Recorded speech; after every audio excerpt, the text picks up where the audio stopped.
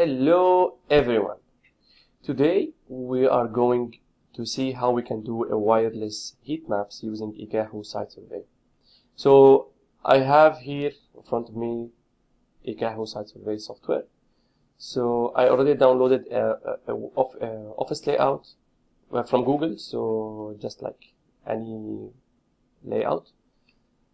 So how the way we add it, just click on add map and go for the location, go its office layout, open, and now it's being imported. So this is as, as PDF. You can have you can import it as picture or uh, AutoCAD file. So usually I use the AutoCAD. Now this is the layout. As you can see, it's a small office with a bunch of uh, private rooms. As I can see, it's meeting room and uh, maybe it's a lobby and common area and separate uh, to the, uh, offices. Anyhow, so we need to to to think where shall we put the access points, and you know what affects the wireless signal is first of all walls, furniture, even us as human beings, we also affect relatively to the uh, uh, signal strength. So we need to draw the walls of the office. So I just click on the wall as you can see and also if you can go to the settings and you can select the thickness of the wall. Maybe it's a concrete, maybe it's uh, a glass, maybe, I don't know. So just let's consider it's a standard wall. And I'm going to draw the walls. Should be easy, as if like you are building it. It will be fun for doing it for small offices, but maybe I think if it's lots of one, it will be MS so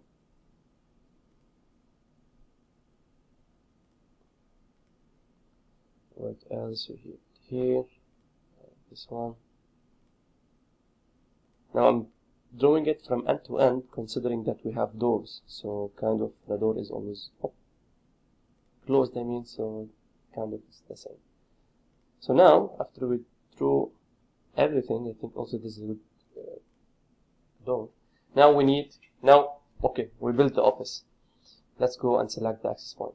So what, just I click the all, my, all access points and here you can see access point. And there's a bunch of models for the access point. Fortinet, HP, Cisco, Linksys, Meraki.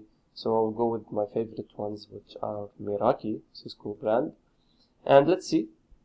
Let's I can say like we can put one here. And okay as you can see it, this is the the green is the strength.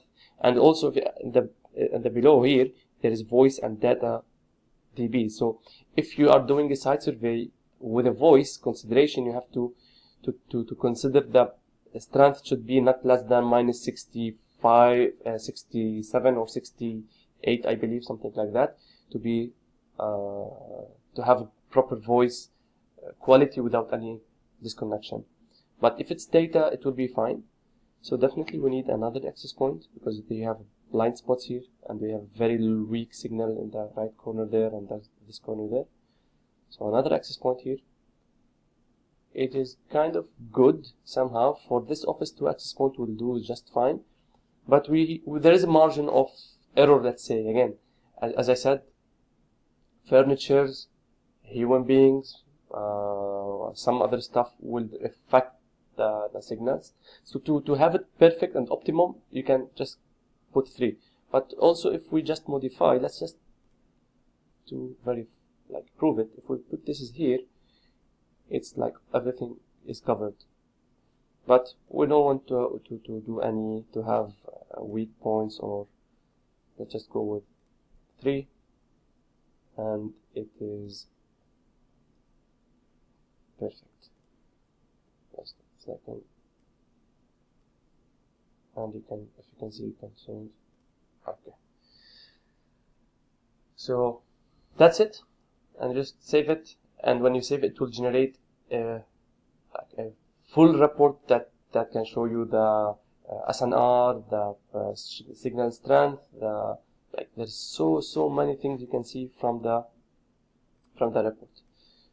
let me show you one thing I believe.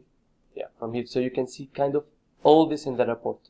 Channel bandwidth coverage overlap data rate jitter and everything will be generated in the, the report. I hope you like this video. Please help me subscribe like my channel and if you have any request for new video for uh, certain technology please let me know